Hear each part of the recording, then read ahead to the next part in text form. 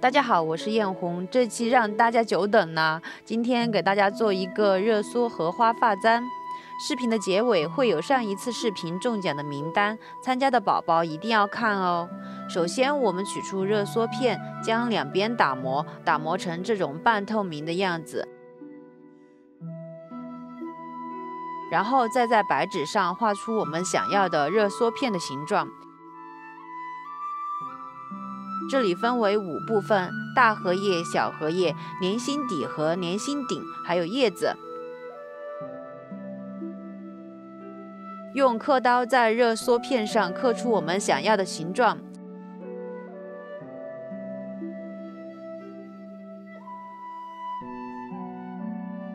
在叶子的中间刻上一丝一丝的纹路。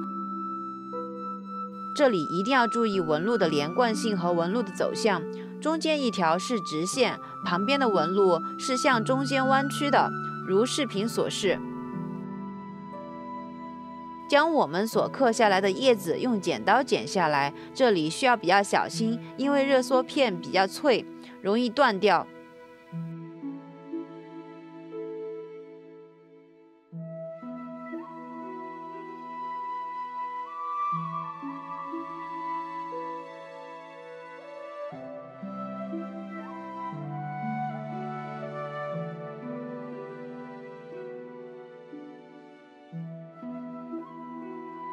花心是由一个底座和顶部组成的，底座类似于一个四叶草的形状，顶部是一个圆形的。这样我们的材料就准备好了。接下来我们把每个花瓣的底部都打上孔，花心底的中间也打上两个孔。然后我们开始上色，这次我们用到的是眼影盘和彩色铅笔。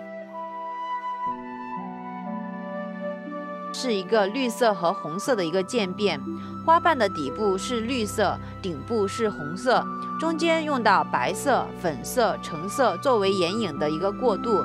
具体的染色画法，大家可以参考一下视频哦。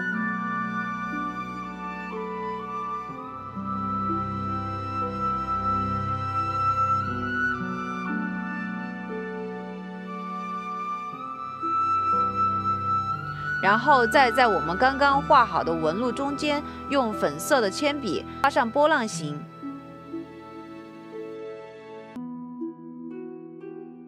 花瓣的背面是用浅绿色和白色的一个过渡。这里用眼影的目的是想要花瓣具有磨砂的效果，为了这个效果，这次就不进行固色。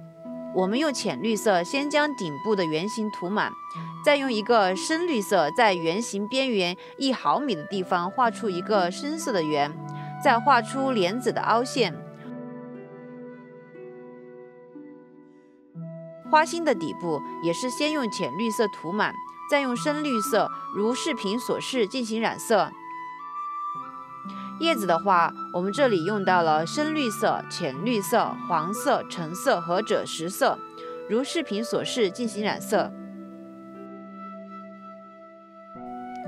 有洞的地方，颜色染暖色，模仿坏掉焦灼的叶子；没有洞的地方染冷色，模仿茂盛正绿的叶子。茎的部分用深绿色进行加深。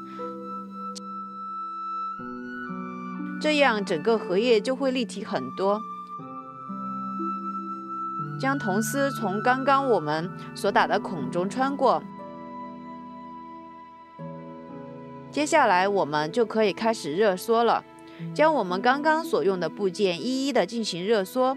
在最后一步，趁着热缩片还没有变硬，我们可以进行造型。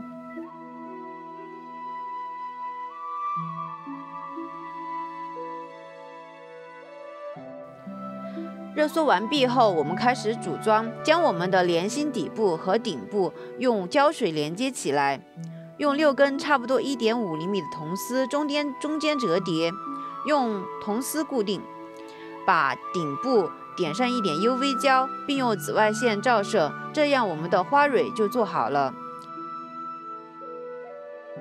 将我们的花心和我们的叶片用铜丝固定起来，这样我们的荷花就做好了。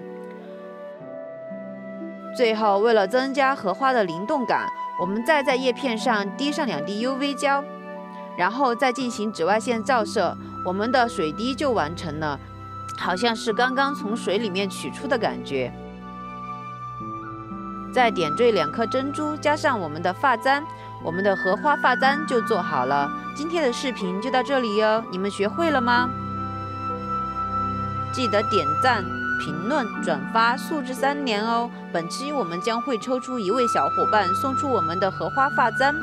我们先来抽取一下上一期的小伙伴吧。今天的视频就到这里哟，我们下次再见，拜拜。